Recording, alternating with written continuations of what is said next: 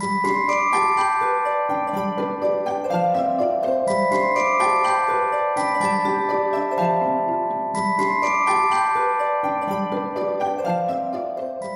にちは川村さやです。今日は浴衣の着付けから帯結びまでやっていきたいと思います。浴衣はいろいろ着方があるんですけれども今日は私がよく着る着方を紹介したいと思います。まず浴衣です。今日はこの水色の白いお花の浴衣を着ようと思います。はい次に帯です。これは半幅帯と言います。これは黒と白のリバーシブルになっているタイプです。次は腰紐です。私はナイロンのものじゃなくてゴムのものを使っています。これは伊達締めです。伊達締めはここに浴衣の上から巻くものになります。これは帯板になります。私のは板だけじゃなくてゴムがついているのでここで引っ掛けて使うことができます。はいこれは着物ファンデと言います。浴衣の下に普段はタオルを巻くんですけれども、え、これを使うとタオルの役割になります。これはハクビさんで販売しているものです。はいこれは、えー、帯紐になります。これは浴衣の帯を留める時に最後にここに使います。最後はクリップです。これは帯を締める時にも使ったり浴衣の時だけじゃなくて着物の着付けの時にも使います。浴衣を着る時に今日はワンピースなんですけれども浴衣は肌着というものがありますのでそういうのを着てくださ、い、浴衣を着る手順としてその1まず浴衣を羽織ります。そしたら足元裾を揃えてあげます。その2腰紐をしてあげたら襟のところを合わせてあげます。その3おはしょりを揃えてあげます。その4帯板をして帯を結んであげます。この4つの工程で浴衣を着ることができます。では早速着ていきたいと思います。はいまず着物パンデを腰に巻きます。ガムテープになってます。では浴衣を羽織ります。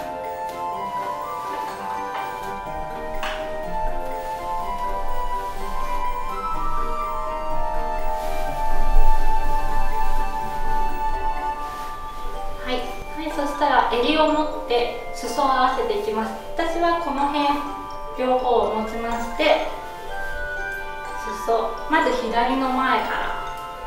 くるぶしぐらいの長さに揃えます。そしたら右側を今右手に右手まっすぐの方向に引っ張ってる状態でお尻のところで止めてるような状態です。そしたら右手を中少し上に上げます。で左前を戻してあげます。そしたら裾を揃えます。今ここ手で持っている状態ですのでここを腰紐で留めていきます。はいこのゴムの腰紐で押さえてるところから当ててあげて後ろで一度交差して前に持ってきます。私のはここがフックになっているのでそのままゴムのところに引っ掛けます。次は今ゴムで留めたのでおはしょりと襟を直していきます。おはしょりっていうのは帯をここに巻いた時にこう下にちょびっと出るのがおはしょりになります。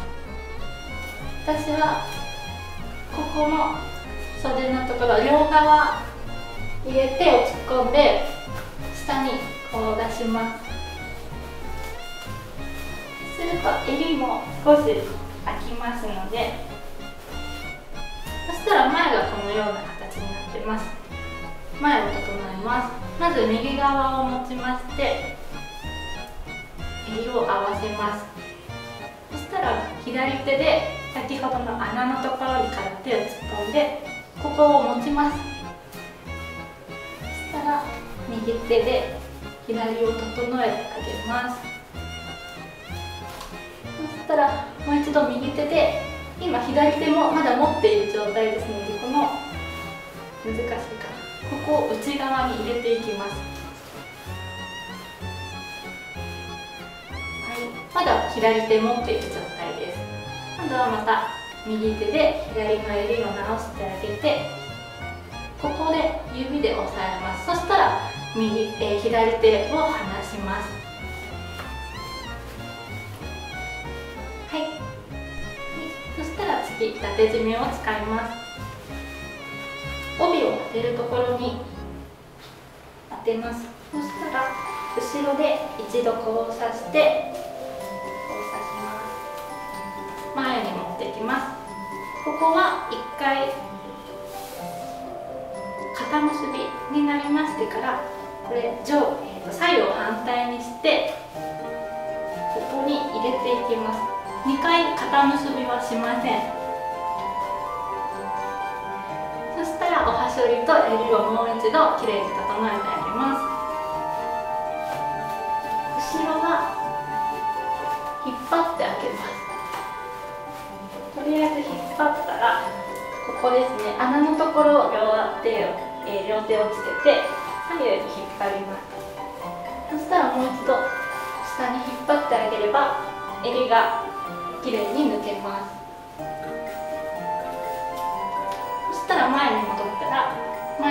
前の方を後ろ側に引っ張ってあげます。そうすれば前がきれいになります。足もこんなもんでしょうか。はいこれで浴衣の部分は完成しました。次は帯板を巻いていきます。左脇に挟んで後ろのゴムをキャッチしたら前でフックで留めます。前に揃えてあげます。おしまいはいそしたらクリップを用意します。とりあえずこの襟のところに挟んでおきます。はい半幅帯です。これ3メートルぐらいのものを使います。まずこの半幅帯を出した色の方を表にして半分に折ります。私は今日白い方を出したいので白が表です。こっち輪っかの部分の方を帯板の右端に留めます。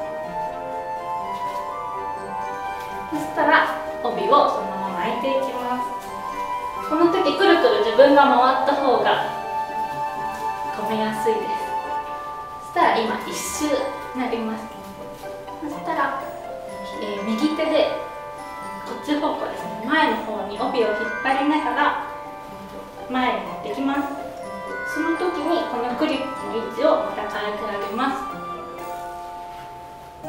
こから私は最近結ばない帯結びというのをハマってますのでそれをやってみたいと思います。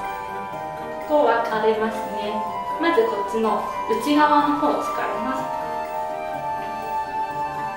これを適当な幅に蛇腹折りをしていきます。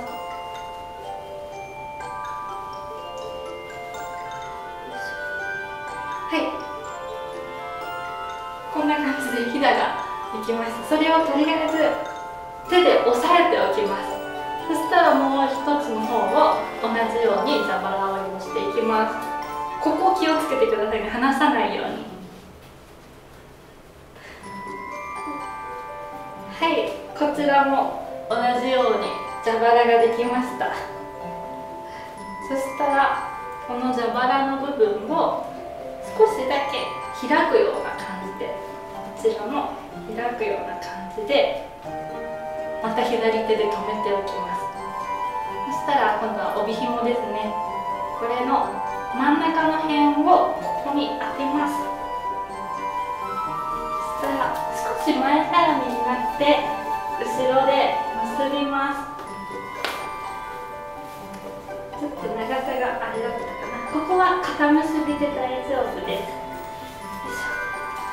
はい。前がこんな感じになりました。そしたらこの蛇腹をうまく引き出してあげます。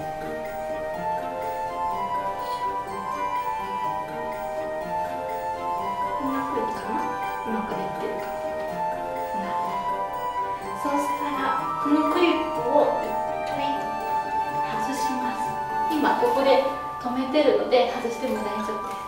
そしたら帯板を持ちながら帯だけ右を右回りで後ろに回していきます。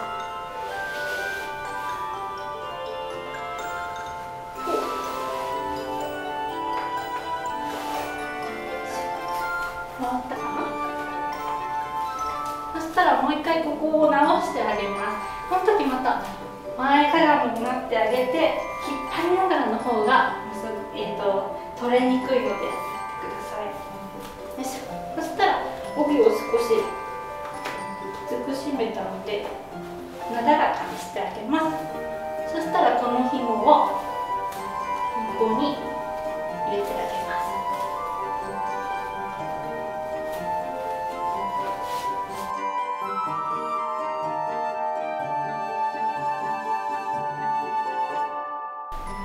完成です。